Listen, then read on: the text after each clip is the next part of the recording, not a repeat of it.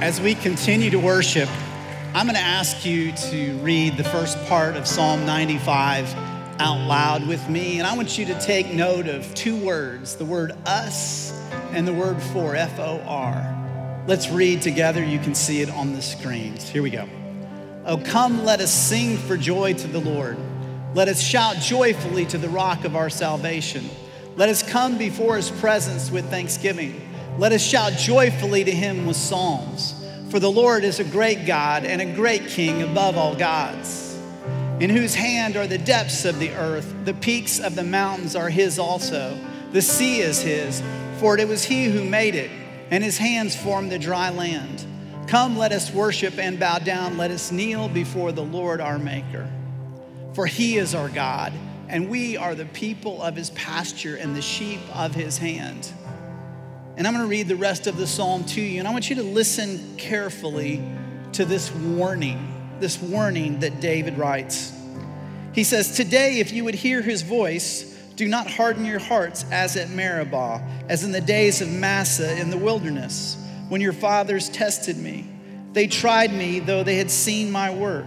For 40 years I loathed that generation and said, They are a people who err in their heart, and they do not know my ways. Therefore, I swore in my anger, truly they shall not enter into my rest. Dear Father, as we come to worship you together, as we come to continue to celebrate you, continue to know that you are speaking to us now through your word. God, we take that warning seriously that today we would not harden our hearts but our hearts would be tender toward you. And Lord, that we would say, through your Holy Spirit, we surrender today. God, you know our stories better than we know ourselves. You know those of us who are struggling today, those of us who need your healing today. God, we thank you that you're here. Lord, let me be so far out of the way, but by your Spirit, we trust you to change us.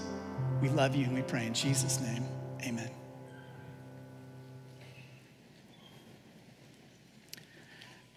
As we kick off this fall, I know for many of you it's the start of a brand new school year. My prayer is that this next season of your life would be so full of peace and so full of purpose. My prayer is that you would be so confident of God's love, of His tender care of you, His knowledge of you, that you would trust Him like never before that in the greatest of times, but also in the hardest of times, that you would know that He is there and you would turn to Him and that you would walk with Him. And as you walk with Him, as you walk in Him, that you would grow. And that there would be so much fruit in your life overflowing, so much flourishing in your life. It would not only affect you, but it would affect your relationships. If you're married, it would affect your marriage. If you're a parent, it would affect your parenting. Those of you who are single, your students, it would affect your friendships, that you would grow like never before. And I can tell you confidently that that is so possible. In fact, that is so real because that is God's desire for you. But you have a choice to make. It's the choice that we heard in Psalm 95. It's the choice between two paths.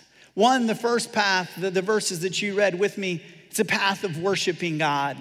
It's a path of trusting God with your whole heart and offering your life to Him.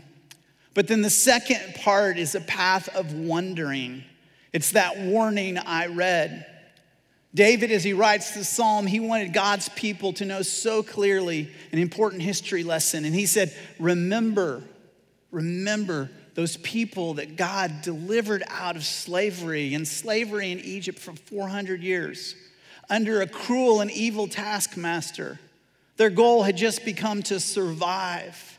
But God does not leave his people in mere survival. God loves his children and he rescued them and he delivered them. And God showed off in his deliverance miracle after miracle after miracle, culminating in seeing the Red Sea parted. A sea, can you imagine it?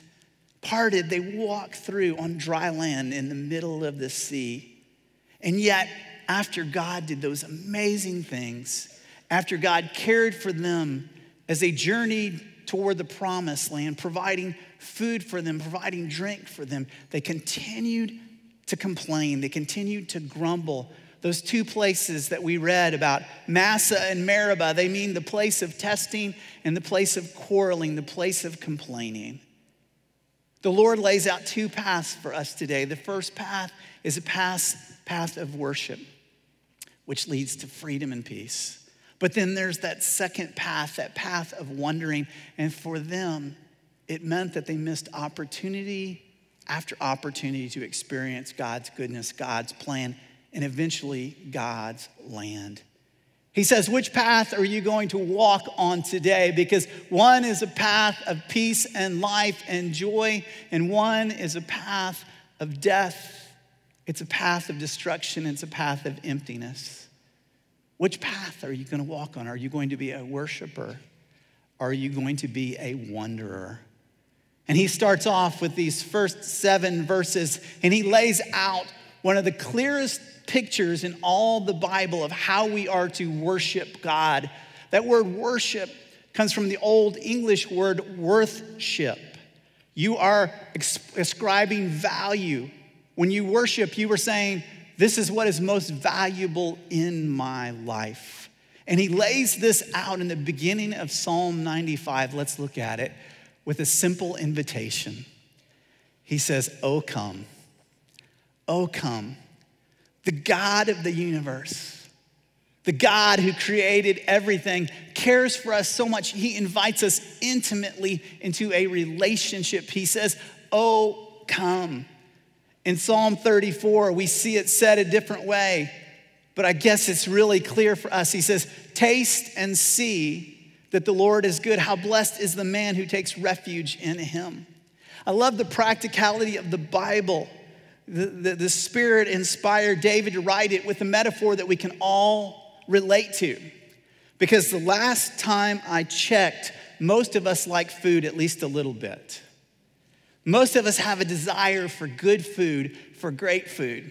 Now, when I was growing up, I will say I was not a very picky eater growing up. Most of the time, I ate what my parents provided for me. But there was one food that I said, you know what, I have no interest in eating. No interest in eating, but I had a buddy who kept bothering me and he said, You need to come eat sushi with me. And I was like, Dude, sushi is bait. Why would I want to eat sushi with you?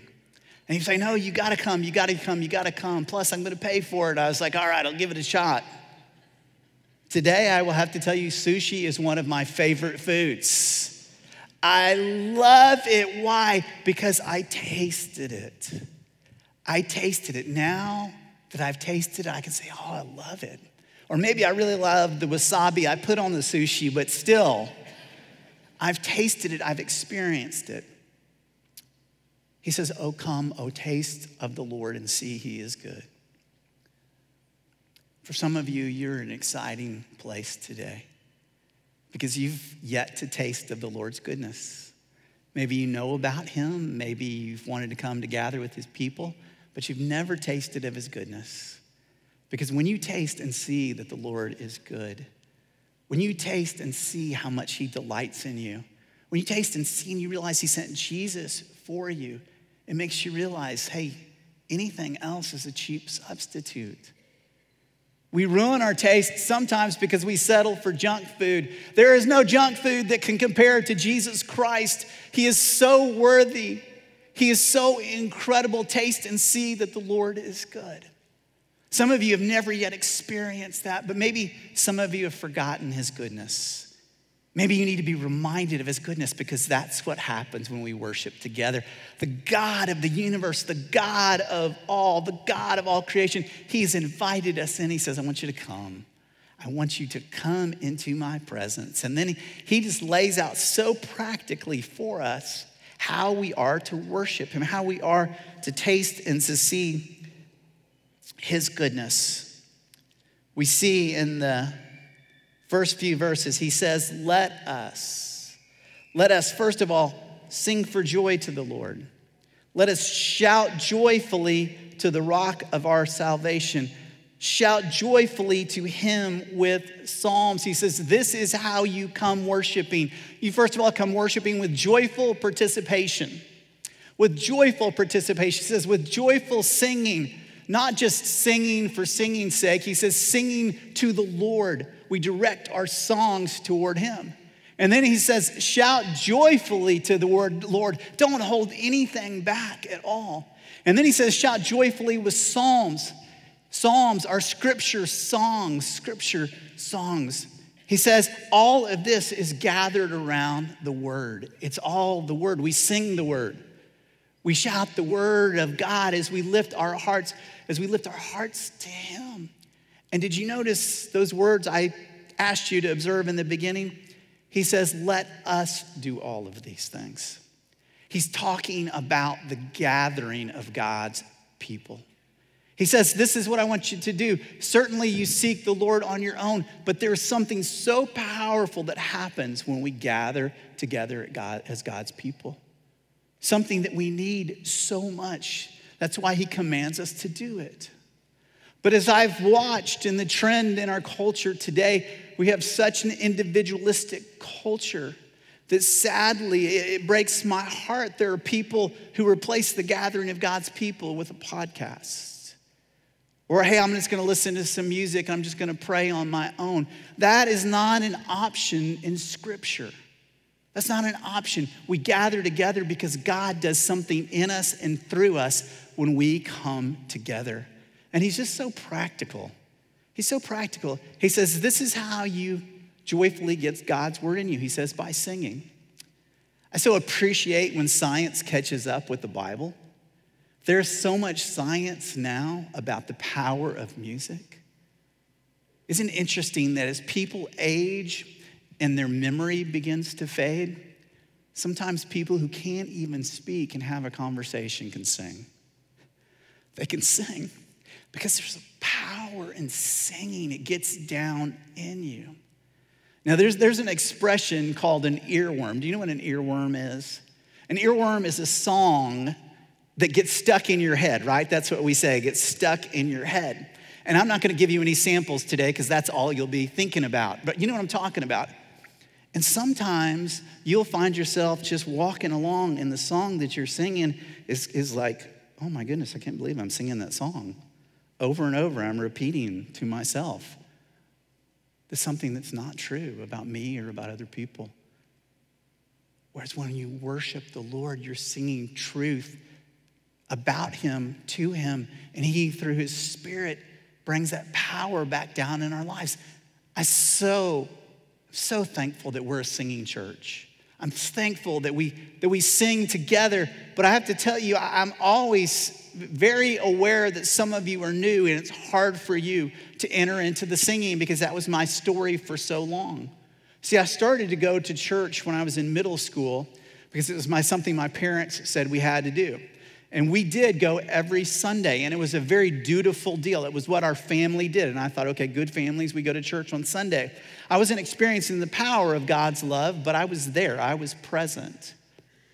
But then I came to know Jesus as an 18 year old, and I realized that worship is not something you go to. Hey, I went to worship today. It's not something you go to. Then I realized worship is not something you just watch. Hey, man, those music, those musicians, singers are so talented. No, worship is something we do. And for many years, I was the guy that during the music time, I would just stand with my arms crossed. And I was just like, you know, I don't sing. I have a terrible voice. I, am embarrassed about the way I sing. And, and I was like this. But the beauty of singing together, when we come together, we do make a joyful noise to the Lord. We do make a joyful noise. And we need each other. In Colossians, Paul tells this church, he says, sing songs of praise to one another. You know why? Because there are times, hear me say this, there are times when people will come into a community gathering, a time of worship that we have, and their lives are so beat up, their lives are so broken, they're just glad that they are here, that they're here. And they need you to sing for them. They need you to sing God's truth on their behalf. so they can hear it and they can believe it and they can trust it.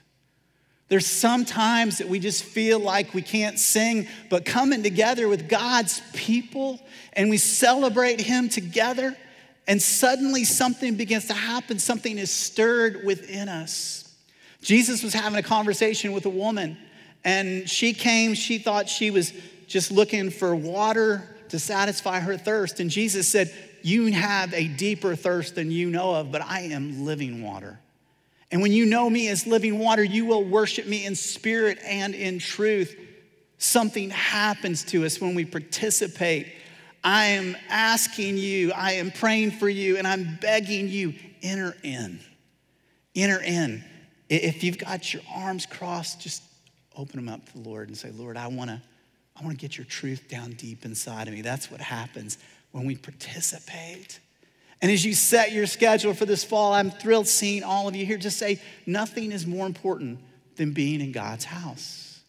Nothing is more important than being in God's house because He does something in us and through us. We come with joyful participation. And then that next phrase, he says, Let us come before his presence with thanksgiving. This is such a powerful picture. Have you ever, parents, mom or dad, have you ever been like maybe hanging out at a pool with your son or your daughter? Let's make them little, like three years old. And they're just splashing around, they're doing their thing, and you're marginally distracted. I mean, you're aware for their safety, but maybe you got your phone out, maybe you're trying to multitask. What are they gonna do? Mommy, mommy, daddy, daddy, watch me, watch me. And everything that they do is so exciting to them. And you're like going, okay, that's the 10th time I've seen you put your face in the water, okay. But they just want to show you. They just want to show you. They want to show you, jump in, whatever. And if you're distracted sooner or later, what are they going to do? Our precious children, they're going to walk up to you and they're just going to grab your face and they're going to go, look at me. just look at me. Because they just want your undivided attention we are commanded to come before his presence with thanksgiving. Do you know what his presence means? His face. Presence is the Hebrew word for face. Come before his face with thanksgiving. Our God loves us so much that he gives us his undivided attention through Jesus Christ. His face, his presence is with us his presence is a gift to us. When you have come together, he says, Let us come before him, his presence, his face with thanksgiving. We're so thankful. And what does that tell us? That we are to come worshiping with grateful anticipation. With grateful anticipation that we come before his face, anticipating something's gonna happen. When you walked in today, when you walk into worship, a worship time, a gathering with God's people, do you come in anticipating God's going to do something in your life? Do you come in anticipating that He's going to move in your life? Because that's His desire. And thankfully, He does it through the power of His Spirit. We're not limited to our worship leaders. If that was the case, we would be in trouble. That's why I pray all the time, Lord, let me get out of the way because I trust God to work. And what does He do? We can't anticipate for some of us, we're going to learn something that we've never learned before about God. We're going to learn something about His goodness, His power that we've never learned before. But you know what happens in worship for many of us? We're going to be reminded of how good He is. Because we all have amnesia. We all have amnesia when it comes to the goodness of God. So many times in our lives, we have the pattern of trusting ourselves trusting ourselves until we get in trouble, trusting our own desires until we get in the ditch. And then we come and we realize, I can't do this anymore. We cry out to God for help. God helps, God puts us back on the path, His path, the path of worshiping, not the path of wondering. But as time goes by, the stress of life, it's just so easy to forget, isn't it? As we gather together, let us come before His presence, His face, being thankful to Him and anticipating God's gonna do that. For some of you, He's going to bring healing. You may have an emotional struggle in your life. You may be holding on to fear, and He's going to give you the supernatural peace that passes understanding. For some of you, God is going to give you clarity and direction about a relationship, about a job. I was thinking all the times in my life that God spoke to me, moved me, healed me, challenged me in a corporate gathering, not just when I was by myself. Certainly that happens when we're by ourselves. But in this specific instance, he's saying this is something we do together. Let us come with grateful anticipation. Listen to this, what James K. Smith says. It's really profound. He says, Worship works from the top down. In worship, we don't just come to show God our devotion and give him our praise. We are called to worship because in this encounter, God remakes and molds us top down. Worship is the arena in which God recalibrates our hearts, reforms our desires, and rehabituates our loves. Worship isn't just something we do, it is where God does something to us. Worship is the heart of discipleship because it is, because it is the gymnasium in which God retrains our hearts. Come with grateful anticipation because the Lord is at work, He's doing something. And then we read in verse 6 let us worship and bow down. Let us kneel before the Lord our Maker. We come worshiping with humble adoration. Let us kneel. When he uses the word worship means there, he says, let us fall on our face. Let us bow down. What is this posture? What happens when we kneel? What is it a posture of? Surrender. God, I surrender to you. When you are in this position, you have very little of your own strength. You can't protect yourself in this position, but you say, God, I know you're going to protect me because God is so good. He wants us to worship Him with a surrendered heart, a humble heart. It's not just that we come to Him to celebrate Him and to celebrate His presence in our lives, but we come to confess and we come to repent and we come to admit that we are wrong and that we need Him so desperately. He says this is the path of worship, and it becomes a life and it becomes a joyful habit. And you just say, I've got to be with God's people because that's where healing is, that's where hope is. He lays out so clearly and so practically these two paths. He says, This is how you worship. But then he, in the midst of the practicality, says, Don't miss why we worship. Don't miss why we are worshiping this great God. Verse 3 says it this way For the Lord is a great God and a great king above all gods. Why do we worship? Because God is our great king. When we come together, you need to be reminded, I need to be reminded how great God is. John said, Greater is he, Jesus Christ, that is in you, if you're a Christian, greater is he that is in you than he that is in the world, our enemy, Satan, the accuser. Do you know what that means? Our great God, greater is he that is in you than any relational difficulty you may be going through right now.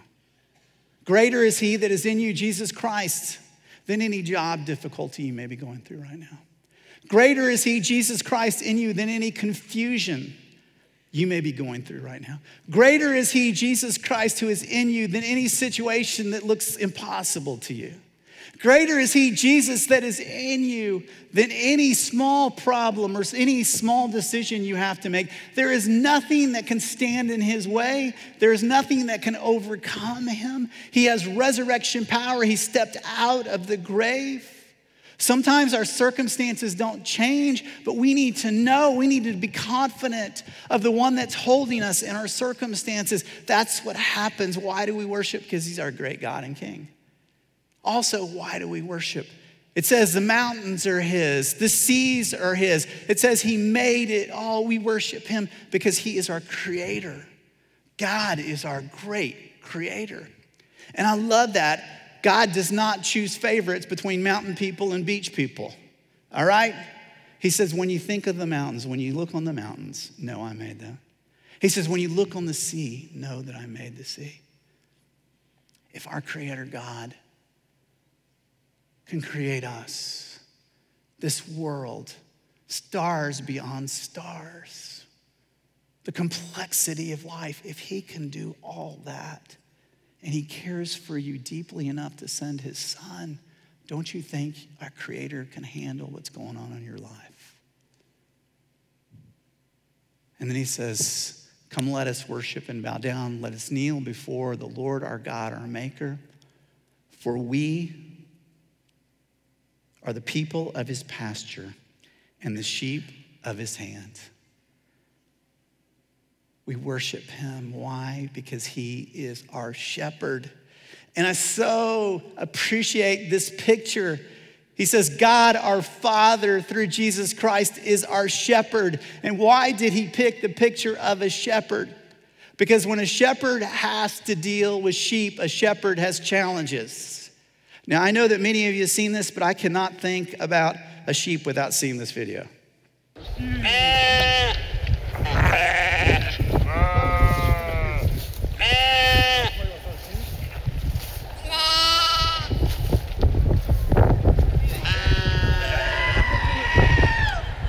этой стороны, против солнца.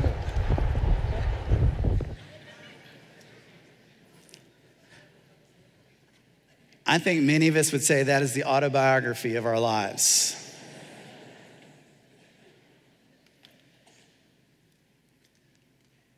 We have a great shepherd. He is so worthy of worship because all of us, like sheep, have gone astray. All of us, like sheep, have gone astray, have gone, gone their own way. But the Lord has caused the sin of all of us to fall on his son, Jesus Christ.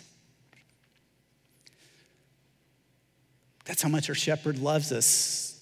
That's how much he loves us. Listen to Jesus talking about himself in John 10. He says, I am the good shepherd. The good shepherd lays down his life for the sheep. My sheep hear my voice, and I know them, and they will follow me, and I give eternal life to them, and they will never perish, and no one will snatch them out of my hand. To sheep who wind back up in the ditch again, he continues to love us. He says he's the good shepherd. He's so good that he laid down his life for us.